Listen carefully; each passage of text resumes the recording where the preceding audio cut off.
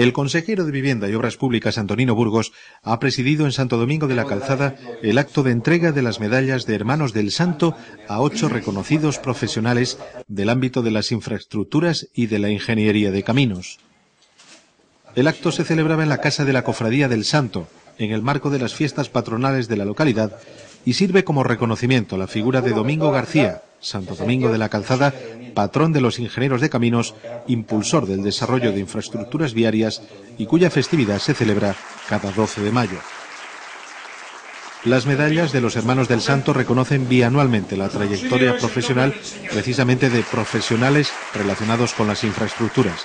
En esta ocasión, los reconocidos han sido Juan Francisco Lazcano, presidente de la Confederación Nacional de la Construcción y de la Fundación Laboral de la Construcción, Javier Manterola, ingeniero académico de la Real Academia de Bellas Artes de San Fernando y quien fuera diseñador, entre otros, del puente de Sagasta en Logroño.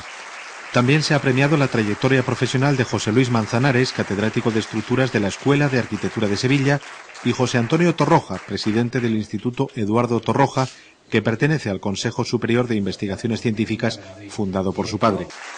Entre los distinguidos en esta ocasión se encuentra también el presidente del Consejo Mundial de Ingenieros Civiles, Edelmiro Rúa, y José María Pertierra, actual director general de carreteras del Ministerio de Fomento, además de Victoriano Sánchez Barcaiztegui, secretario autonómico de Infraestructuras de la Generalitat Valenciana. Completaba el grupo de premiados Bjornuf Bunatian, quien fuera fundador de Euroconsult, la mayor empresa mundial en auscultación de estructuras de ingeniería, medalla entregada a título póstumo y que ha sido recogida por su familia. Antonino Burgos ha reconocido el trabajo de los ingenieros que han puesto su carrera profesional al servicio del desarrollo de infraestructuras que son un factor de progreso y desarrollo y que unen a las personas. Burgos ha destacado la labor de los ingenieros, subrayando la dimensión humana de su trabajo en la medida en que su esfuerzo, dedicación y sensibilidad está directamente relacionada con la seguridad de todos. Yo, desde luego, eh, consejero de Obras Públicas, tengo la satisfacción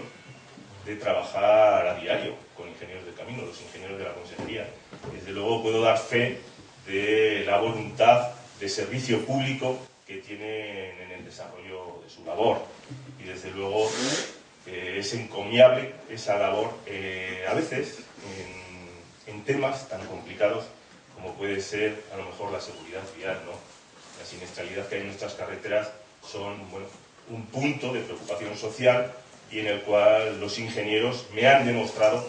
su verdadera vocación y su verdadera sensibilidad de servicio a los ciudadanos, sobre todo para mejorar unas carreteras y que cada vez sean más seguras. No me cabe la menor duda de que con la profesionalidad de esos ingenieros y por supuesto con la ayuda del santo, sin lugar a dudas que van a ser cada vez más seguras nuestras carreteras. El acto culminaba con la invitación expresa a la participación en los actos festivos de la localidad, desde el reconocimiento a la trayectoria humana y profesional de Domingo García, precursor, patrono y guía de los ingenieros de caminos.